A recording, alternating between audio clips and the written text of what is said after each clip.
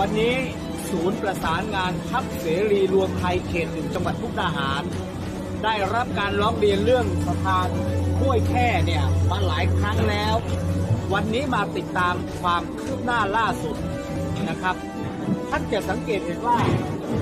งบประมาณเนี่ย9ล้าน9แสน8หมื่น4พันบาทท้วน ระยะเวลาการก่อสร้างใน1ธันวา64 สิ้นสุด 29 พฤษภา65 180 วันคือ 6 เดือน แต่ตอนนี้มันเลยเวลาก่อสร้างมา พี่น้องประชาชนเดือดร้อน จึงเป็นคำถามว่าเป็นความผิดของใครนะครับ นี่รับผิดชอบโดยสำนักงานโยธาธิการและผังเมืองจังหวัดมุกดาหารนะครับที่รับผิดชอบโดยงานโดยงานราชการตัวผู้รับเหมาเขาก็ได้งานเต็มที่ นะครับ นี่คือความเดือดร้อน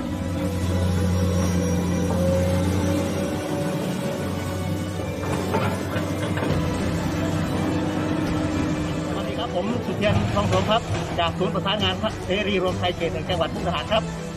ตามที่พี่น้องชาวบ้านในชุมชนหินเรือ ชุมชนค่ายลูกเสือ และก็ชุมชนรอบๆนะครับบริเวณก่อสร้างสะพาน ข้ามห้วยแค่ ซึ่งเป็นโครงการของจังหวัด กำลังดำเนินการอยู่ณเวลานี้ครับจากการติดตามตามที่ทางจังหวัดท่านผู้ว่าราชการจังหวัดมุกดาหาร ได้ยืนยันว่าโครงการนี้จะแล้วเสร็จภายในสิ้นเดือนกันยายน 2565 นี้นะครับถ้าหากว่าไม่แล้วเสร็จตามระยะเวลานะครับงบประมาณเกือบ 10 ล้านบาทก็จะถูกเข้าไปนะครับฉะนั้นแล้ววันนี้ผมมาตรวจติดตามความคืบหน้าตามที่ชาวบ้านร้องขอมาว่า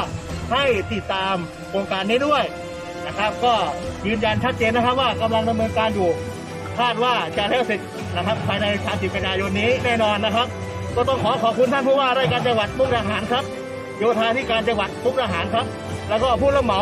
นะครับรวมถึงผู้พนักงานก่อสร้างนะครับ ก็ขอเป็นกำลังใจให้ครับ จากผมร้อยตำรวจตรีสุเทนทองสมศูนย์ประสานงานพักเสรีรวมไทยเขตหนึ่งจังหวัดมุกดาหารครับขอบคุณมากครับ